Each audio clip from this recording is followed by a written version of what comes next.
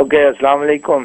حضرت میرا کوشچن یہ ہے کہ آج کل کے حالات کے مطابق مردوں کے لیے تو آپ نے کہا کہ بھی سیلف ڈیفنس میں جو ہے کلاسیں لیں اور جو بھی بندوبست ہو سکتا ہے کریں۔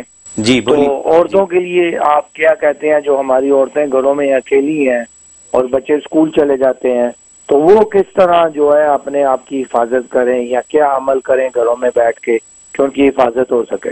جی تھینک یو بکیا ویڈیو دیکھنے سے پہلے ویڈیو کو لائک کریں رحم ٹی وی چینل کو سبسکرائب کریں اور بیل آئیکن پر کلک کریں۔ شکریہ۔ جی حضرت۔ جی ماشاءاللہ بڑا اچھا سوال آپ نے اٹھایا اور گزشتہ پروگرام میں میں نے اس پر بات کی۔ کہ مردوں کو چاہیے کہ سیلف ڈیفنس کے لیے لائسنس اسلحہ جو ہے وہ حاصل کریں اور اس کی ٹریننگ لیں اور اسلحہ جو ہے لے کر چلنے کی اجازت ہو سکتی، وہ ساتھ رکھیں، اپنے گھر میں، اپنے آفس میں، اپنی دکان میں اسلحہ رکھیں۔ تو بالکل جو ہے وہ یہاں کے لا آف لینڈ کے بھی بالکل خلاف نہیں ہے۔ لا آف لینڈ اس کی اجازت دیتا ہے۔ ہر گورے کی بغل کے اندر اسلحہ موجود ہوتا ہے۔ ہر کالا گور اسلحہ لے کے پھرتا ہے۔ تو آپ مسلمانوں کو بھی یہ لا اجازت دیتا ہے۔ بالکل لائسنس اسلحہ جو ہے، بالکل منظور کروا کے اپنے ساتھ رکھیں، اس کی کلاسز بنیں۔ اور جو مسلمان خواتین ہیں، وہ بھی اس کی ٹریننگ لیں۔ کیونکہ خواتین کی ٹریننگ کی بھی جو اسکول انسٹیٹیوٹ موجود ہیں، وہ بھی اسلحہ چلانے کی ٹریننگ لیں۔ کیونکہ صحابیات کو بھی تیر اندازی آتی تھی، ان کو بھی تلوار چلانی آتی تھی، ان کو بھی گھوڑ سواری آتی تھی، ساری چیزیں انہوں نے سیکھی بھی تھی۔ آڑے وقت میں وہ کام آتی تھی ان کو۔ چانچہ بہت سے موقع پہ تو خواتین نے بڑے کمال دکھائے ہیں۔